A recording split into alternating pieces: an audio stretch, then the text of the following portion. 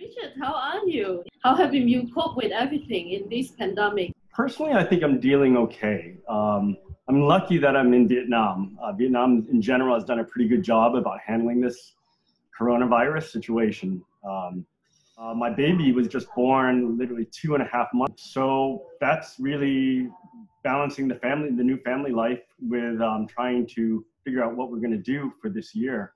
Uh, yeah. As a visual artist, do you think like uh, right now the pandemic have affecting a lot uh, in terms of your practice or? Yeah, it's affected my practice a lot. Um, just before the pandemic uh, became a global situation, I had an exhibition in Hong Kong in January, mid-January, and um, news was just coming out then that there was a concern in China just before Chinese New Year, and people were worried about you know the mass migration throughout the country and how that was going to affect this virus. Mm-hmm. So um, that's the situation I under which I had my exhibition in Hong Kong, and then I came back to Vietnam, and then it be, shortly became very clear that this was going to be a much bigger ordeal. Uh, so my exhibition went from January until March, and I think I, I, I basically had no visitors because the city shut down, galleries were shutting down. Even during that time, Art Basel finally um, canceled its Hong Kong exhibition. Yeah, uh, basically formally. everything was down uh, since uh, March, isn't it? Yeah, so that that didn't happen. Um, so basically, a lot of the attention that I was hoping I might have received for the exhibition uh, just didn't materialize. But it has affected me sort of emotionally that I'm very concerned for how the prospects for the near term are going to be. I had an mm-hmm. exhibition also scheduled for March in mm-hmm. Bangkok, and that was that was canceled obviously, and then postponed to April, um, and then it was finally canceled.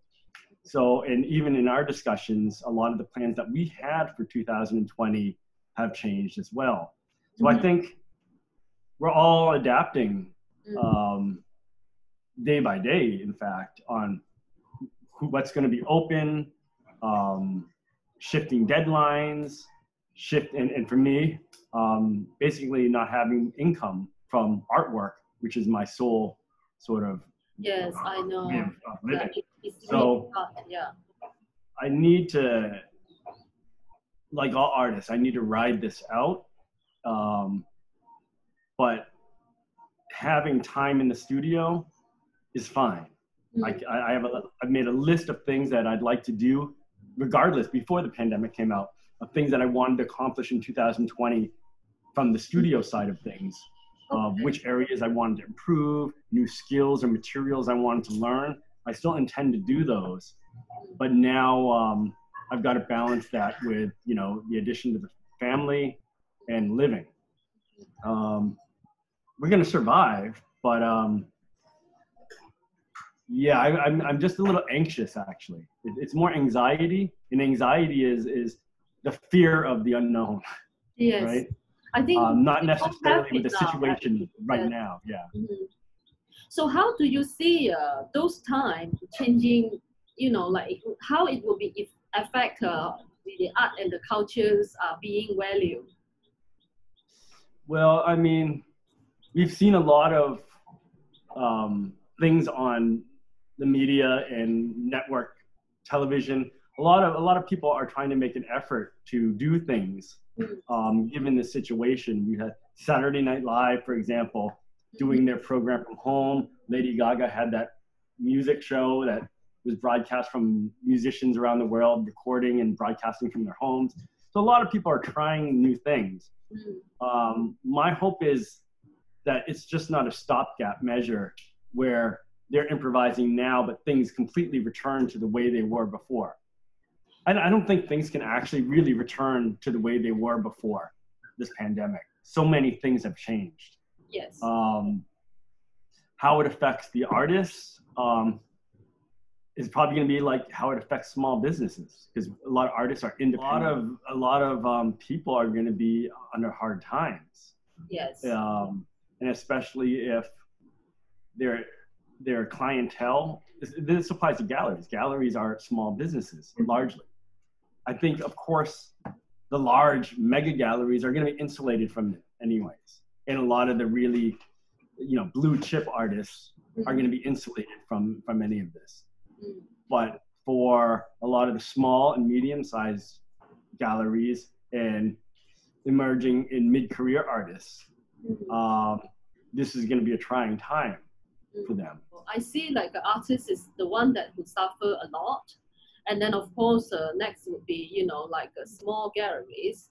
And uh, do you see like uh, any things that you, you, you think that it would be helpful to, to, to suggest? I mean, what, what we, we do what we can do.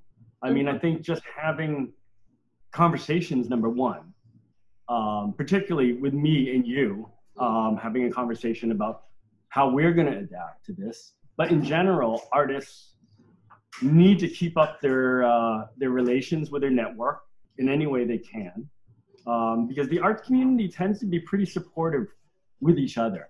yeah. We've always generally been like that. This is apart from the commercial aspect of the art world, right? But as far as the um, the, the the social network of art, Mhm. we, we generally have tend to be pretty supportive. Um, and I think um, given that we can't really go out and meet people, we have to be able to communicate with them in other ways. And, and what we're doing here perhaps is, is one way of doing that.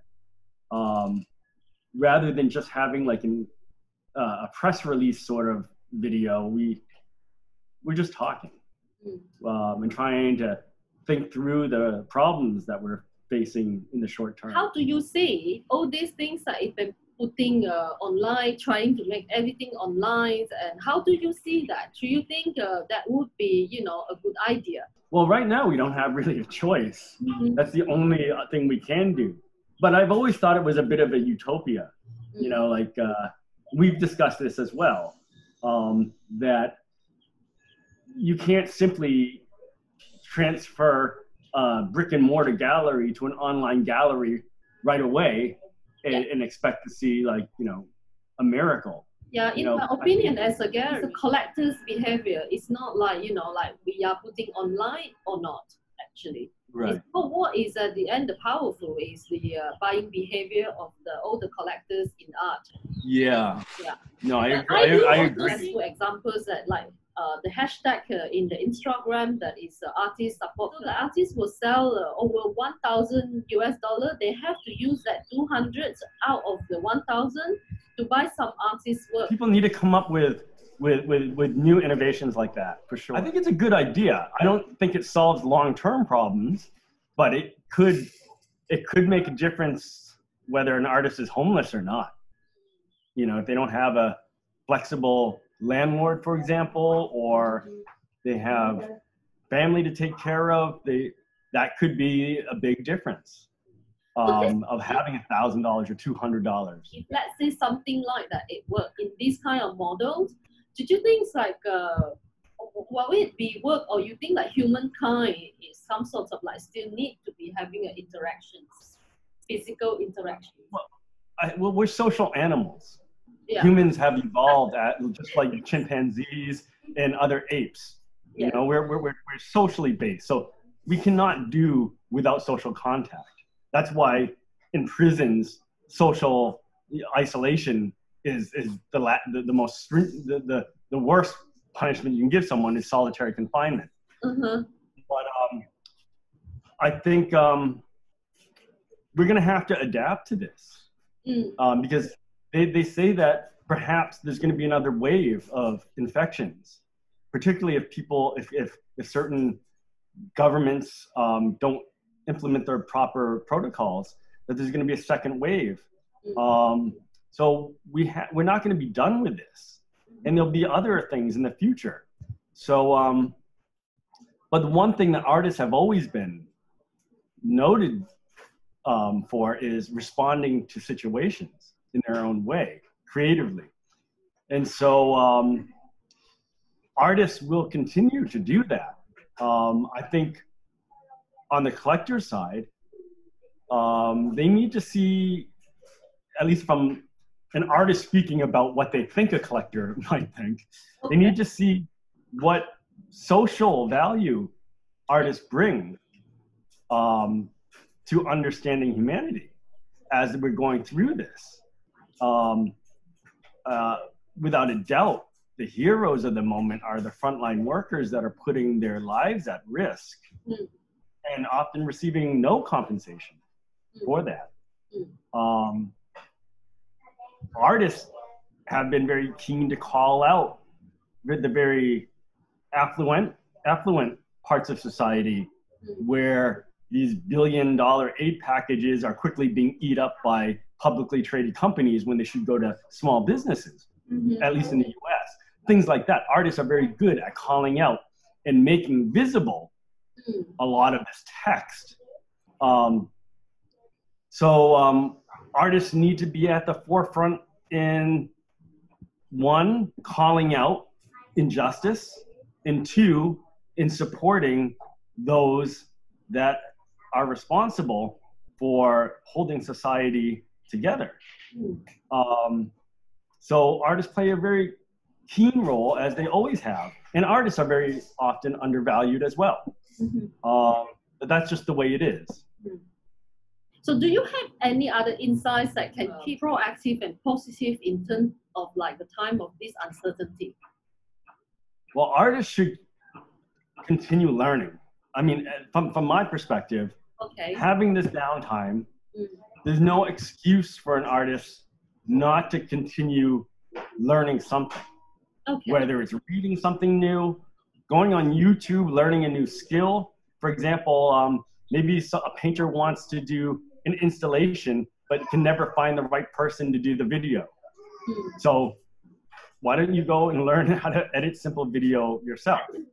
Or why don't you learn, you know, something new? Yes. yes. Um, and that doesn't cost any money either. There's a lot of free resources. It's my son. I um, can hear it. He's saying he I agrees. He agrees with what I've just said. Yeah. Yeah. Okay. So has the gallery and artist relationship have changed in any ways as a result of this pandemic? For me, no, but um, I mean, our situation has changed Mm. our, um, of, of the the environment we're working in. But for me, I only have two galleries. I have this art in Hong Kong and Vin Gallery U, and um, I'm very lucky that both of you know each other well and um, are you know seeing eye to eye and, and talk to each other. You you may talk to Pascal more than I do, so I think I think I'm very lucky that I have two galleries that I value and more and more than that that I trust and that I can work with. Yeah. So God, thank God I'm lucky about that. Um, has our relationship changed? I think it's improving, in fact, um, because we're we're talking about what is to be done. Mm. Um, we don't have answers necessarily, but we have um, we have we're supporting each other in the best way we can. Um, yeah. Yeah, lastly, I would like to ask you, do you have any message you want to send out to our art community as an artist? Well, first, I first please be safe. Please, you know, take the warnings about public health very seriously for you and for others. Um, and beyond that, um, if you valued art before as a collector, um, please value art now because it's more important than ever that people are able to share information in unique ways and that artists very often are at the very bottom of the economic ladder though we contribute a lot more weight than in money. Um, so we'd appreciate you thinking of us and um, we'll continue making work and responding and uh, providing for our families and, and the same as, as everybody. Um, so please be safe and please do not lose your passion for art. Thank you, Richard. Thank you very much for your time.